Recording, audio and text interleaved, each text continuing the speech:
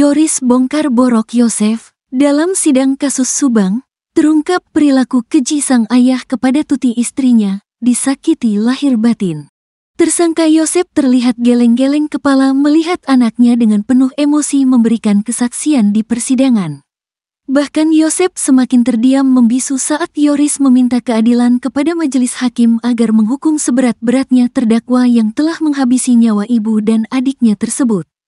Yoris Raja Amanullah yang hadir dalam sidang kasus Subang, Kamis, tanggal 25 April tahun 2024, mengungkap terkait tabiat ayahnya yang saat ini duduk sebagai terdakwa di persidangan.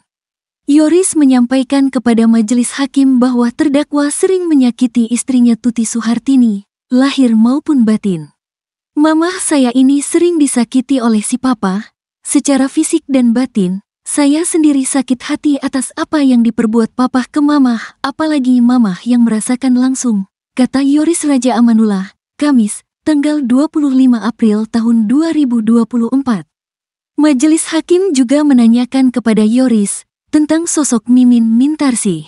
Mimin istri muda si papa, nikah di bawah tangan tapi tak punya anak. Arigi dan Abi Aulia itu bukan anak siapa, katanya.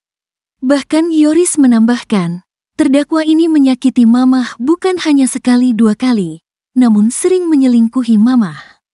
Sebelum nikah sama Mimin, si papah juga sempat selingkuh 10 tahun menikah dengan perempuan lain dan memiliki satu anak, ungkapnya.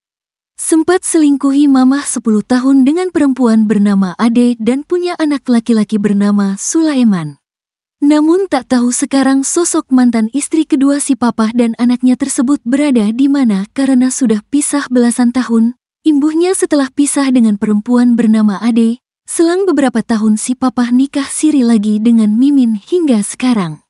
Mungkin sudah sekitar 10 tahun mah ada menikah dengan Mimin, dan tinggal juga lebih banyak sama Mimin istri muda ketimbang sama ibu dan adik saya.